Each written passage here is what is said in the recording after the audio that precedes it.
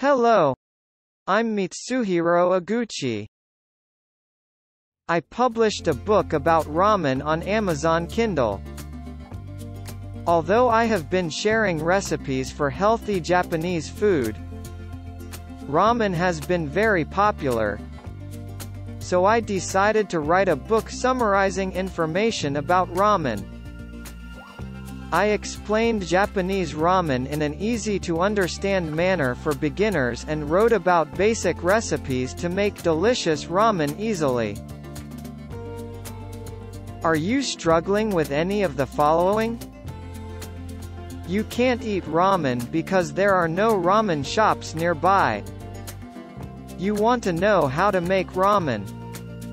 You want to know what ingredients and tools are needed to make ramen at home. You want to understand the basic types of ramen and the differences between them, and find your favorite ramen. You want to know the history and cultural background of ramen in Japan. Are there any healthy ramen recipes to make at home? What are the worst taboos that will prevent you from ever going to a ramen shop again? If you read this book, your concerns will be resolved.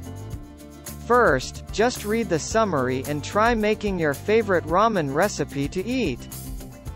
Once you know the basics, you can also make elaborate and creative variations of ramen and make it a healthy menu item.